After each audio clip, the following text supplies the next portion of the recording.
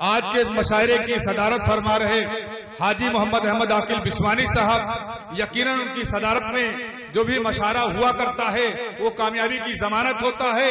آج کا یہ مشاعرہ تاریخی مشاعرہ ہوا ہے اور یہ کامیابی کی ضمانت ہے کہ ان کی صدارت میں مشاعرہ قائم قائم کیا گیا تھا۔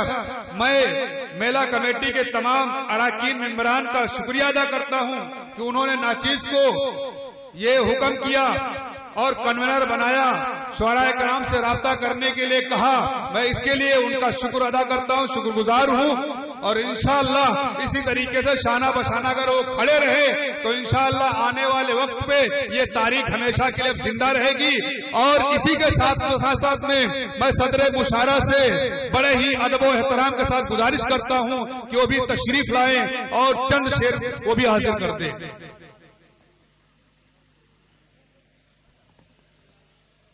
حضرات، ہمارے محترم مولانا سلیم صاحب نے جو یہ محفل منعقد کی، بہت ہی خوبصورت اور اس کی نظامت بھی بہت ہی خوبصورت ہوئی آج کی یہ محفل بہت کامیاب محفل بھی ہے۔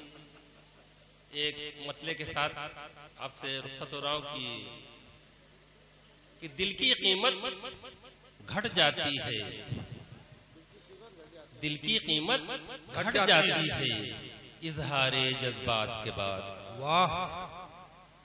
دل کی قیمت گھٹ جاتی ہے۔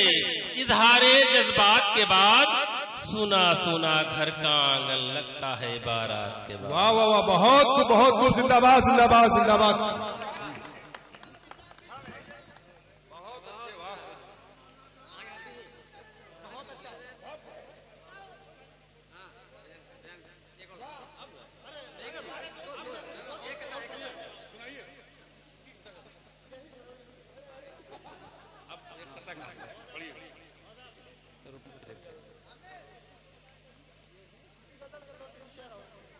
رکھے ہیں۔